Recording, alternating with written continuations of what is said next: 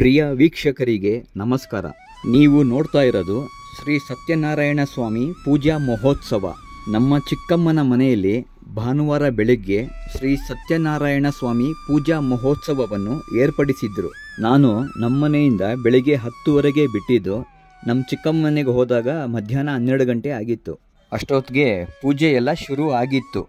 ಈ ಸತ್ಯನಾರಾಯಣ ಸ್ವಾಮಿ ಪೂಜೆಗೆ ನನ್ನ ಇಬ್ಬರು ತಮ್ಮಂದಿರ ಕುಟುಂಬ ಭಾಗಿಯಾಗಿದ್ದರು ನನ್ನ ಚಿಕ್ಕಮ್ಮ ಚಿಕ್ಕಪ್ಪನವರ ಸಂಬಂಧಿಕರು ಹಾಗೂ ಬಂಧು ಮಿತ್ರರು ತುಂಬ ಜನ ಬಂದಿದ್ದರು ಈ ಸತ್ಯನಾರಾಯಣ ಸ್ವಾಮಿ ಪೂಜೆಗೆ. ಸತ್ಯನಾರಾಯಣ ಸ್ವಾಮಿ ಪೂಜೆಯನ್ನು ಸರಳವಾಗಿ ಬಹಳ ಚೆನ್ನಾಗಿ ಆಚರಣೆ ಮಾಡಿದ್ದಾರೆ. ಸತ್ಯನಾರಾಯಣ ಸ್ವಾಮಿ ಪೂಜೆಗೆ ಹೋದರೆ ತೀರ್ಥ ಪ್ರಸಾದ ತಗೊಳ್ಳದೆ ಹಾಗೇ ಹೋಗಬಾರ್ದಂತೆ. ಅದಕ್ಕೋಸ್ಕರ ನಾನು ಮಧ್ಯಾಹ್ನ ಅಲ್ಲೇ ಇದ್ದು ಎರಡು ಗಂಟೆವರೆಗೂ ತೀರ್ಥ ಪ್ರಸಾದ ತಗೊಂಡು ನಾನು ಆಮೇಲೆ ಕೆಲಸಕ್ಕೆ ಹೋಗಿದ್ದು. ಮಧ್ಯಾಹ್ನ ಬಂದೆ ಕೆಲಸಕ್ಕೆ ನಾನು. ಶ್ರೀ ಸತ್ಯನಾರಾಯಣ ಸ್ವಾಮಿ ಪೂಜೆ ಮಾಡೋದ್ರಿಂದ ಮನೆಯಲ್ಲಿ ಶಾಂತಿ ಮತ್ತು ಸಮೃದ್ಧಿ ನೆಲೆಯಾಗುತ್ತೆ. ಮತ್ತು ಮನೆಯಲ್ಲಿ ಯಾವುದೇ ಶುಭ ಕಾರ್ಯ ನಡೆಯೋ ಮುಂಚೆ ಶ್ರೀ ಸತ್ಯನಾರಾಯಣ ಸ್ವಾಮಿ ಪೂಜೆನ ಮಾಡ್ತಾರೆ.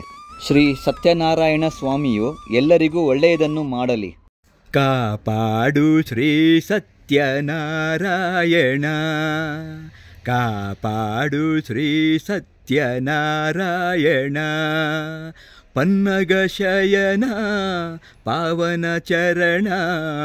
ಪನ್ನಗಶಯನ ಪಾವನ ಚರಣ.